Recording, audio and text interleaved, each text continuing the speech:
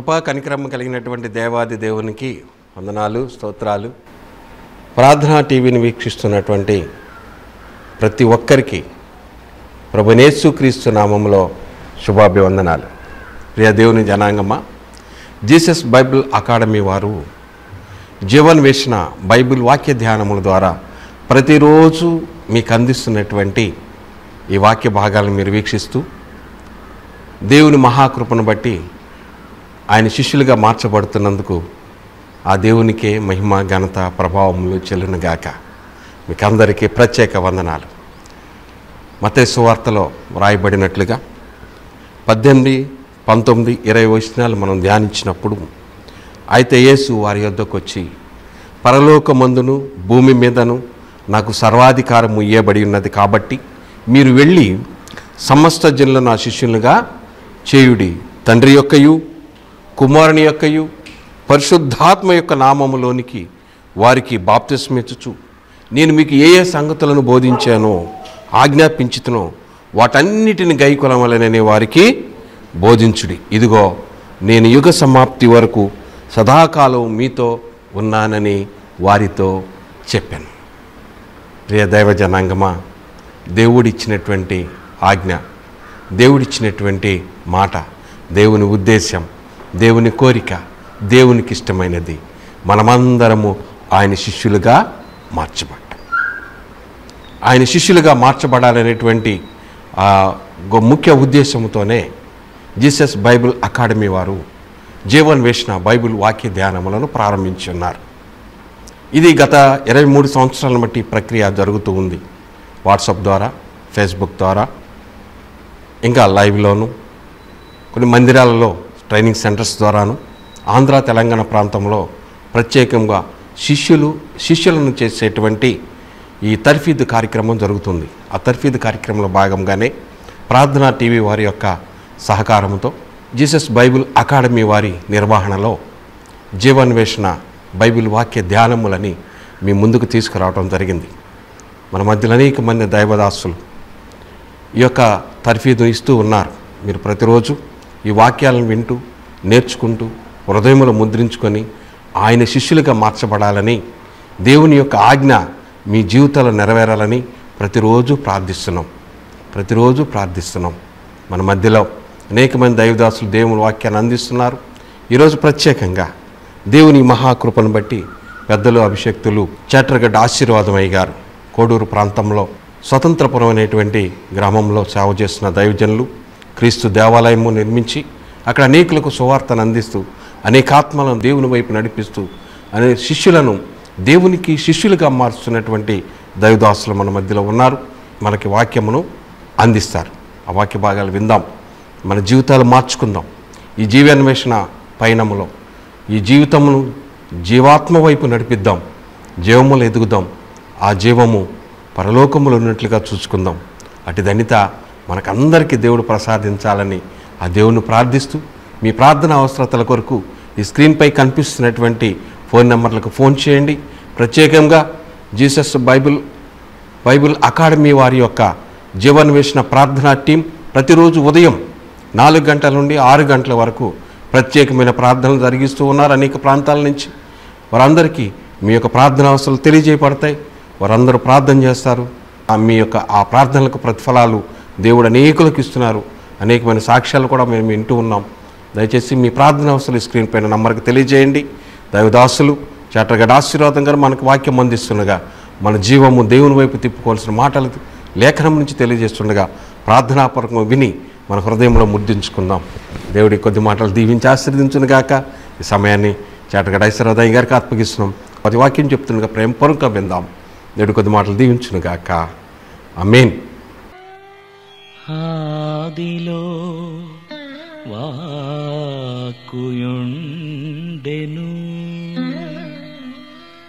ఆ వాక్కు దేవుని యొద్ద ఉండెను. ఆ వాక్కు దేవుడై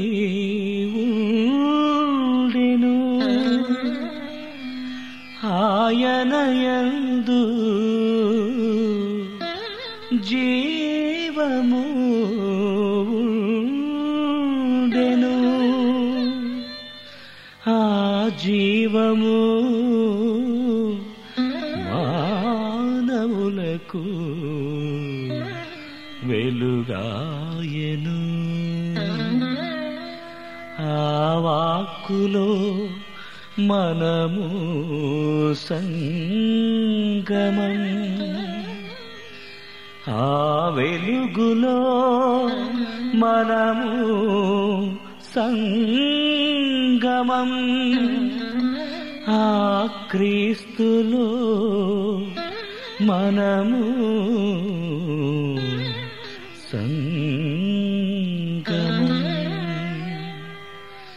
శరణం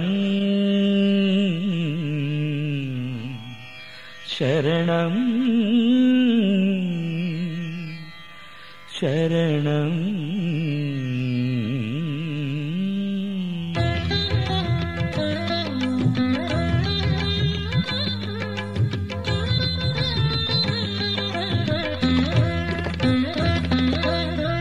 ఆదిలో వాకైన శ్రీక్రీస్తా ఆదిలో వాకైన శ్రీక్రీస్తా జీవమై మాలో వసించు దేవా ఆదిలో వాకైన శ్రీక్రీస్తా.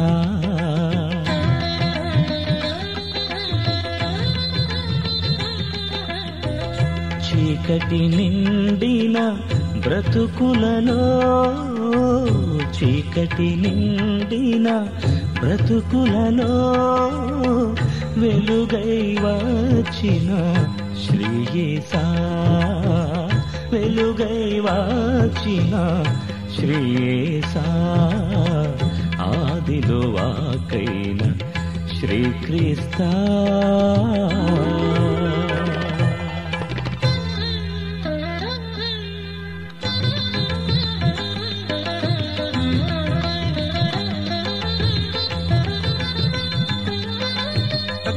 తత్తిత్తకదనదాం జీసస్ బైబిల్ అకాడమీ వారు నిర్వహించేటువంటి జీవాన్వేషణ బైబిల్ కార్యక్రమంలో ఒక భాగంగా మనం కొన్ని వాక్యాల ద్వారా అనేక బిడ్డలను ప్రేరేపితం చేసి దేవుని వాక్య ధ్యానాల ద్వారా బిడ్డలో మార్పు తీసుకురావటానికి దేవుడైన ప్రభు మనకి ఇట్టి అవకాశాన్ని కలుగజేశాడు.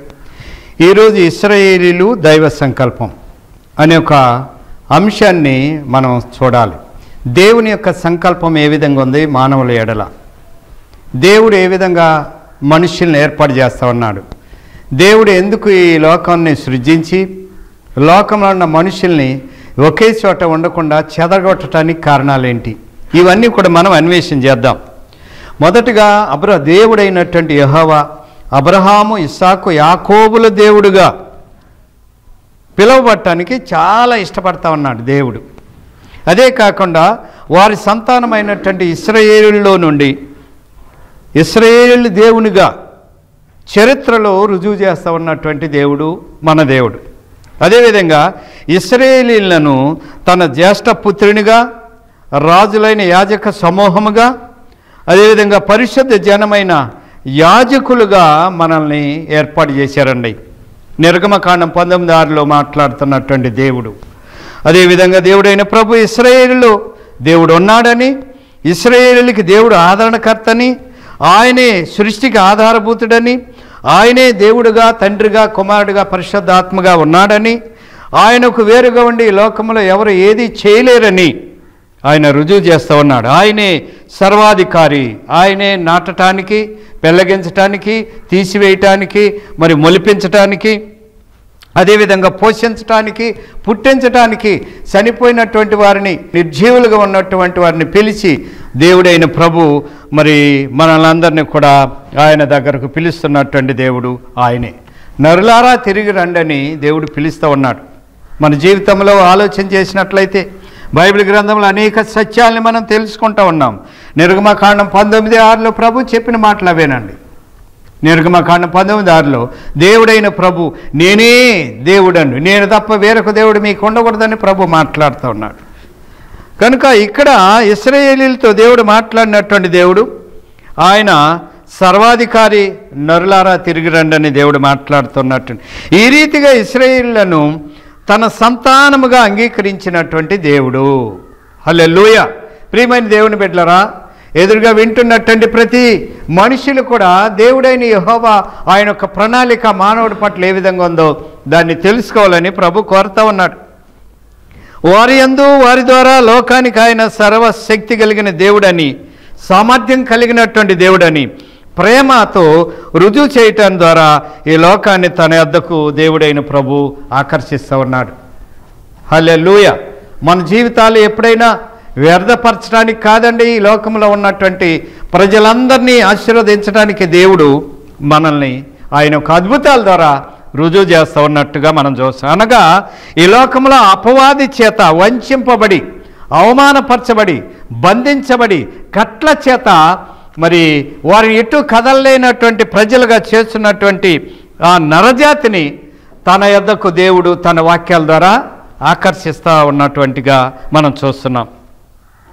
చూడండి వీటిలో చాలా విషయాలను మనం తెలుసు. వీటి ద్వారా అనేకులు స్వార్థ పని చేశారు. మనకు తెలియదు అవి. చూడండి రాహబు. రాహబ్ అనేటువంటి వేష ఎరుకో పట్టణంలో యహోశివ రెండో అధ్యాయం పది పదకొండులో ఉంటుంది. ఈ ఎరుకో పట్టణంలో ఉన్నటువంటి రాహబు అనే వేష ఆ ఎరుకో పట్టణం ఏగులు చూడటానికి ఇస్రాయేలీలు పంపబడినటువంటి మనుషులు వెళ్తే వాళ్ళ దగ్గర ఆశ్చర్యాన్ని వ్యక్తం చేసింది. దేవుని బిడ్డలకి సాక్ష్యం చెబుతుంది. అయ్యో మీ దేవుడు గొప్పవాడు. ఐగుప్తులో నుండి మిమ్మలను ఎర్ర సముద్రము రెండు పాయలుగా చీల్చి ఆరిన నేలను ఏర్పాటు చేసి ఆ నేలలో నుండి నడిపించినటువంటి దారిలో నుండి నడిపించిన గొప్ప దేవుడు మీరు. ఆయన శక్తి సామర్థ్యాలు మేము తెలుసుకుంటే మా గుండెలు అవిసిపోతా ఉన్నాయని సాక్ష్యం చెప్తా ఉందండి. అదేవిధంగా మరి అమోరీల రాజైన ఓగును సింహనును ఏ విధంగా నాశనం చేశాడో మీ దేవుడు మీ దేవుడు పేరు చెప్తేనే మేము భయపడిపోతా ఉన్నాం. రేపమాప మా దేశానికి ఆయన రాబోతున్నాడు మిమ్మల్ని పంపిస్తున్నాడు ఎరుకో పట్టణానికి. ఈ ఎరుకో పట్టణాన్ని నాశనం చేయటానికి మీరు వచ్చినప్పుడు దయచేసి నన్ను జ్ఞాపకం చేసుకోనండి. మీ దేవుడు గొప్ప దేవుడు అది మేము వింటున్నాం. మేము కన్నులారా చూడకపోయినప్పటికీ మేము విన్నాం. అందుకని మా హృదయం పొంగిపోతుంది గుండెలు అవిసిపోతున్నాయి గనుక భయాందోళనకు మేము గురైపోతున్నాం. మీరు గనుక ఈ దేశాన్ని కొల్లబెట్టడానికి వచ్చినప్పుడు నన్ను జ్ఞాపకం చేసుకోనండి అని ఆమె సాక్ష్యం పలికిందండి. ఆనాడే సువార్త ఇస్రాయేలీలకి ఈ వేశ్యని రాహు ప్రకటించినట్లుగా చూస్తున్నాం. అందుకనే ఇస్రాయేలు వెళ్ళినటువంటి వేగులు వారు అన్నారు ఇదిగో నీ వారిని అందరిని ఇంట్లో పెట్టుకుని గుర్తుగా కిటికీకి ఎర్ర తొగరగలిగిన దారాన్ని కట్టండి. మేము వచ్చి ఈ యొక్క ఎరుకోను ధ్వంసం చేసినప్పుడు నీ ఇంటిని మేము కాపాడుతాం. చూసారా ప్రియులైన దేవుని బిడ్డలరా దేవుని యొక్క కృప ఎట్లా ఉంది? దేవుని యొక్క ఆధిక్యత ఎట్లా ఉంది? దేవుని సన్నిధి ఎట్లా ఉంది? అనేది మనం తెలుసుకోవాల్సినటువంటి బాధ్యత మనకుంది. అందుకని వారు సాక్ష్యం చెబుతా ఉన్నారు రాహబు. వేశ్య అని రాహబు సాక్ష్యం చెబుతుంది. దేవుణ్ణి చూడకపోయినప్పుడు ఆయన మహత్యాలు చూడకపోయినప్పటికీ ఆయన గుణగణాలను గుర్చి ఆ ఇస్రాయేలీలతోనే చెబుతుంది సువార్త. రెండవదిగా సిరియా రాజు అయినటువంటి నయమాను ఇస్రాయేల్ పిల్ల చెప్పినటువంటి ఆ యొక్క అద్భుతమైనటువంటి ఎలిషా చేసినటువంటి ఆ యొక్క సంతోషకరమైనటువంటి మరి అద్భుతాలు చూసినటువంటి ఆమె నా ఏలిని వాడి దగ్గరికి ఈయన కనుకుంటే ఈయన కుష్టి బాగుపడుద్ది అని చెప్పగా ఈ కుష్టి వ్యాధి కలిగినటువంటి నయమాను వెళ్ళాడు. ఏలే దగ్గరికి వెళ్ళాడు. ఎలిషా దగ్గరికి వెళ్ళాడు. వెళ్ళినప్పుడు యోర్దాన్ నదిలో ఏడు మార్లు స్నానం చేస్తే కుష్టిపోతుందని చెప్పగా యోర్దాన్ నదికి వెళ్ళారు. యోర్దాన్ నదిలో ఏడు సార్లు స్నానం చేసినప్పుడు కుష్టి అంతా పోయింది. కుష్టిపోగా ఆయన తిరిగి వచ్చి గొప్ప సాక్ష్యం పలికాడండి. ఈ దేశంలో ఎవ్వరూ చేయలేనటువంటి అద్భుతం చేశాడు దేవుడు. ఆ దేవుడే ఇస్రాయేలీలకి దేవుడు. ఈ ప్రపంచంలో ఎవరు చేయలేంది? కుష్టివ్యాధి బాగు చేయలేంది. దేవుడొక్కడ తప్ప ఎవరు చేయలేరు. దేవుళ్ళు అనబడే వాళ్ళు అనేకులు ఉన్నారు కానీ భూప్రపంచంలో ఈ దేవుడు తప్ప వేరొక దేవుడు లేడు. లోకమందు వేరు వేరు దేవుళ్ళు ఉన్నారు కానీ ఈ దేవుడే గొప్పవాడని చెప్పేసి రెండవ రాజుల గ్రంథం ఐదవ అధ్యాయం పదిహేనవ వచనంలో ఈ యొక్క వ్యక్తి అనగా సిరియా రాజు సైన్యాధిపతి అయినటువంటి నైమాను గొప్ప సాక్ష్యం పలికడండి. ప్రియమైన దేవుడి బిడ్డలారా ఆలోచించండి.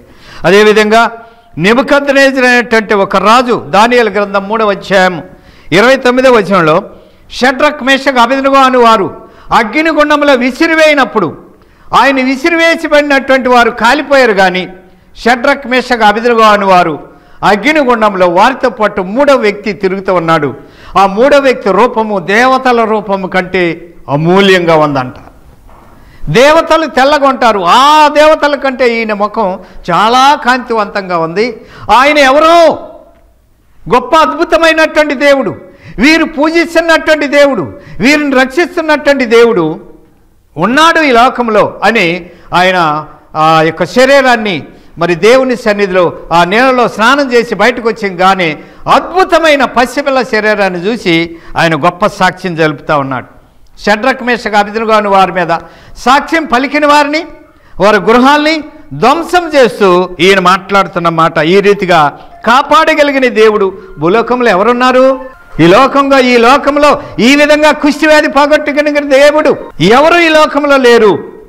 ఈ లోకంలో డాక్టర్ అనేబడేవారు ఉన్నారు. మాంత్రికులు ఉన్నారు చాలామంది వైద్యులు ఉన్నారు కానీ కుష్టివ్యాధిని నిలుపు చేయవారే ఉన్నారే తప్ప కుష్టివ్యాధిని కొంగట వేళ్ళతో సహా పెరికి వేయగలిగింది ఈ దేవుడే. ఈ దేవుడు తప్ప మరెవ్వరూ లేరని ఈయన కూడా నెబద్నేజరు మొట్టమొదట సాక్ష్యం ఇస్తా ఉన్నాడండి ఈ లోకంలో జీవిస్తూ ఉంటాం అనేక ప్రదేశాల్లో తిరుగుతూ ఉంటాం అనేక వాక్యాల ద్వారా మనం ప్రేరేపితం కలిగినటువంటి వ్యక్తులుగా ఉంటాం కానీ దేవుని యొక్క శక్తిని గ్రహించలేకపోతూ ఉన్నాం. అదే దేవుడైనటువంటి ప్రభు ఇస్రాయేలీలు దైవ సంకల్పం దేవుని యొక్క దైవ సంకల్పం ఈ విధంగా ఉందని మనం తెలుసుకోలేకపోతా ఉన్నాం. అదే నిబుకత్ రెండవ సాక్ష్యం పలుకుతా ఉన్నాడు. రాజు రాజ్యాన్ని కోల్పోయినప్పుడు పశువులే అరణ్యానికి కొనిపోయి పశువుల్లో జీవిస్తూ గడ్డి మేస్తూ మరి తన తగు కాలంలో బుద్ధి కలిగి ఆయన్ని స్థుతించగా ఆయన రాజ్యము మరలా ఇచ్చిన తర్వాత ఆ రాజ్యం తరతరాల ఉంటుంది కనుక ఆయన అక్కడ మార్పు చెందారు. ఆయన మార్పు చెంది అంటున్నాడు. ఈయన తప్ప వేరే ఈ లోకంలో ఎవ్వరూ లేరు. గొప్ప దేవుడు అని చెప్పేసి ఈయన రెండవ సాక్ష్యం పలికాడు. ఈ రెండవ సాక్ష్యం ద్వారా బాబేల్ రాజ్యాధికారి ఆ రాజ్యం గొప్పదిగా ఉన్నప్పుడు ఆ రాజ్యాన్ని తిరిగి మరలా ఆయనకు ప్రసాదించినట్లుగా మనము చూస్తూ ఉన్నాం. హలో ప్రియమైన దేవుడు బిడ్డలారా ఈ విధంగా ఎంతమంది సాక్ష్యాలు ఇస్తామన్నారు. స్వార్థను కూడా ప్రకటిస్తున్నాడు. నయమాను స్వార్థ ప్రకటించాడు. ఈయన దేవుడు తప్ప ఏ దేవుడు నయం చేయలేడు. ఈ యొక్క మరి నెబికద్రేజర్ చెబుతున్నాడు మొదటి సాక్ష్యంలో ఈ షడ్రక్ మిషగా అభిదనగోని కాపాడిన దేవుడు తప్ప ఈ లోకంలో ఎవ్వరూ లేరండి. అగ్నిగుండాల నుండి కాపాడగలిగినటువంటి వారు ఎవరున్నారు? ఈ దేవుడే సర్వ సృష్టికి దేవుడని దైవ సంకల్పాన్ని సూచన ప్రాయంగా అందిస్తూ ఉన్నాడు ఈ నిబద్ధనేది రెండవ సాక్ష్యం ఇచ్చాడు. రాజయ్యుండి ఆయన అహంకారపూరితమైనటువంటి పరిస్థితిలో ఈ రాజ్యము నాది ఈ రాజ్యము నేను తప్ప ఎవరు? కట్లేరని ఆలోచన చేస్తున్నటువంటి రాజుల్ని సహితము గడ్డి మేపించేటువంటి గొప్ప దేవుడని ప్రభు చెప్తూ ఉన్నాడు. నాలుగవదిగా ఇది ధాన్యాలు నాలుగు ముప్పై నాలుగు ముప్పై ఐదులో చూస్తున్నాం.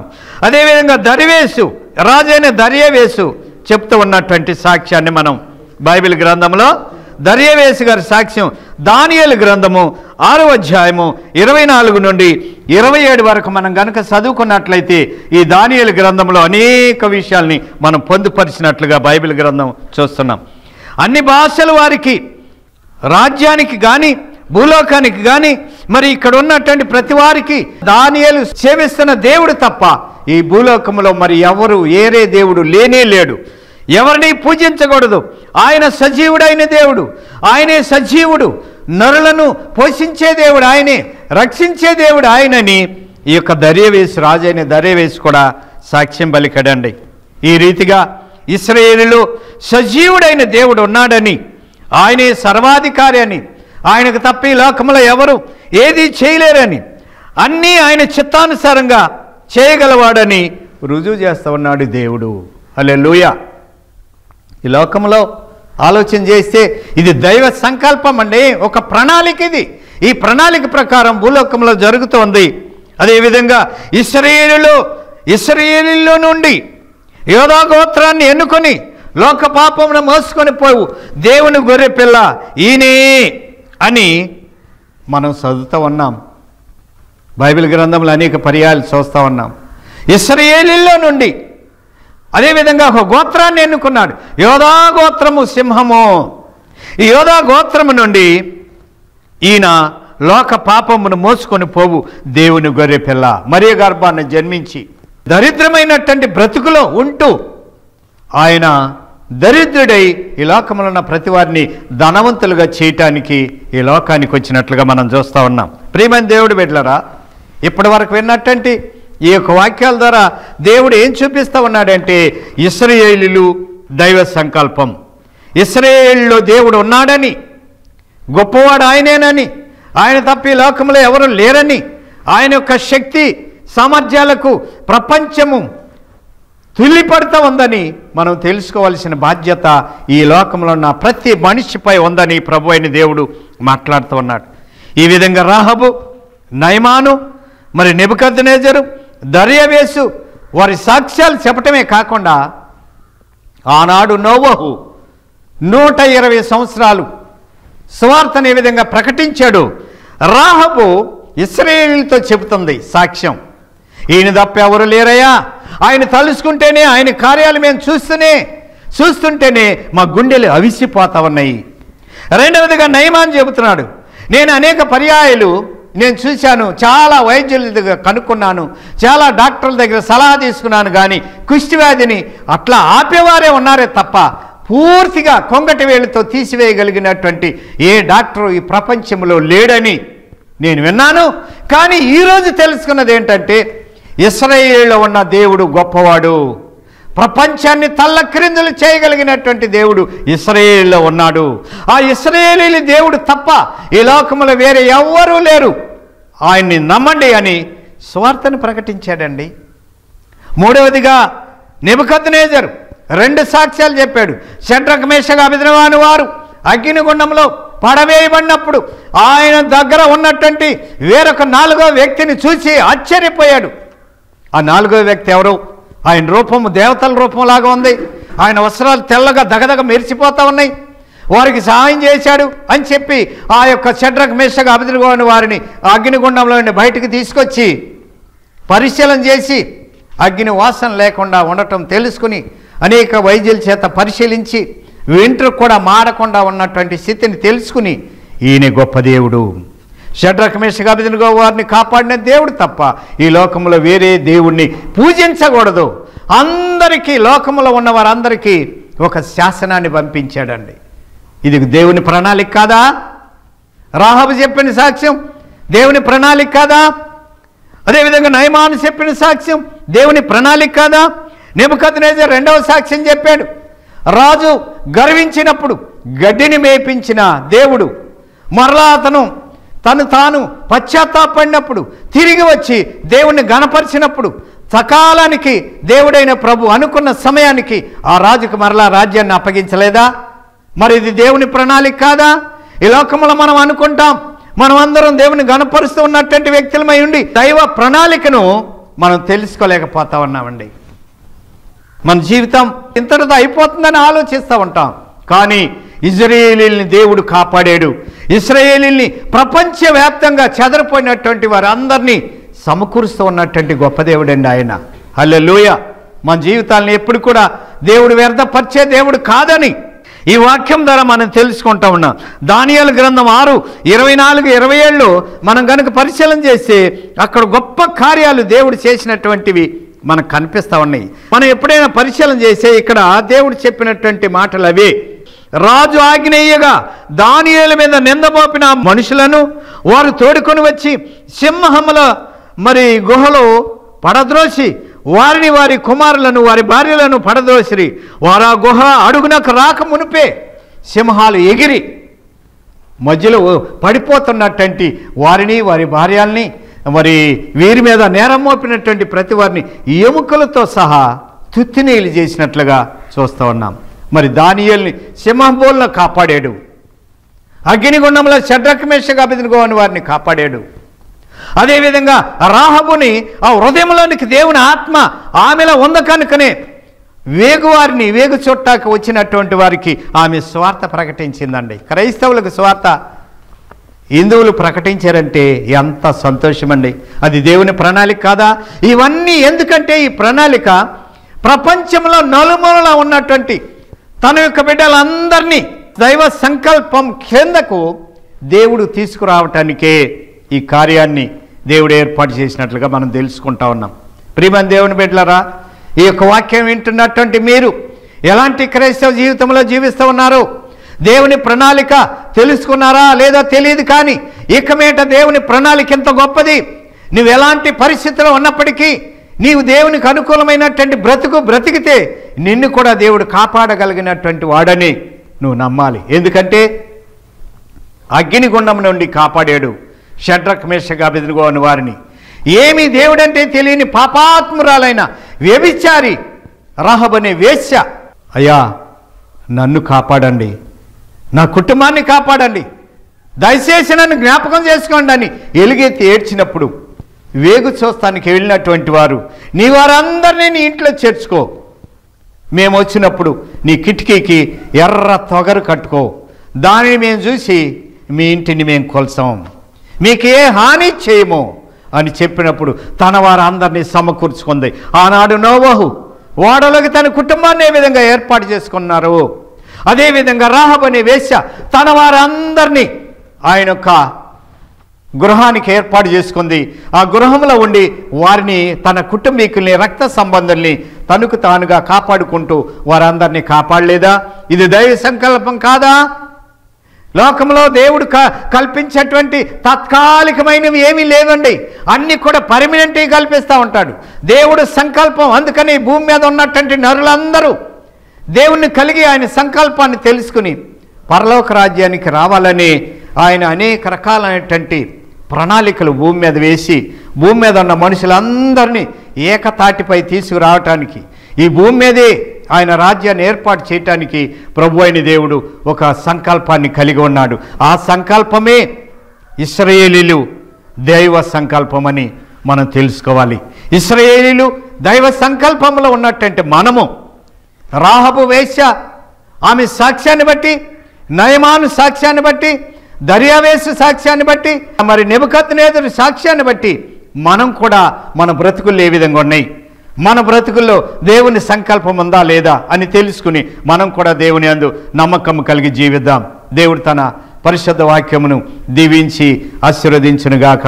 అందరూ కూడా చూస్తున్న వీక్షిస్తున్న ప్రతి వారు కూడా కళ్ళు మూసుకున్నట్లయితే ఒక చిన్న ప్రార్థన ద్వారా మనం ముందుకు సాగుదాం. ప్రేమ నమ్మకమైన తండ్రి పరిశుద్ధుడైన గొప్పదేవ ఇప్పటివరకు ఇస్రాయేలీలు దైవ సంకల్పం నా తండ్రి అనేక బిడ్డలు విన్నారు. విన్నటువంటి బిడ్డలు నాలో దేవుని ప్రణాళిక ఉందా? నేను తాత్కాలికంగా ఉన్నానా? దేవుని ప్రణాళిక ప్రకారం ఎక్కడో జన్మించిన నన్ను ఇక్కడికి నేను రావటం అంటే అది దేవుని ప్రణాళిక కాదా? ఎప్పుడో మరణం పొందవలసిన నేను ఇప్పటి వరకు నన్ను సజీవుడిగా ఉంచేవంటే అది దైవ ప్రణాళిక కాదా? అనే ప్రశ్న మాకు మేము వేసుకుని మీ అందు నమ్మకం కలిగి జీవించే బిడ్డలుగా చేయమని ఏ సున్నామంలో వేడుకొని ప్రార్థిస్తున్నాం తండ్రి. Amen amen. మీ అందరికీ వందనాలండి. ఈ వాక్యాల ద్వారా అనేక బిడ్డలు ఇంకా ముందుకు సాగి జీవితాన్ని చక్కదిద్దుకుందాం దేవునికి అర్పిద్దాం. దేవునికి స్తోత్రాలు కలుగునుగాక. మీ అందరికీ నా వందనాలు.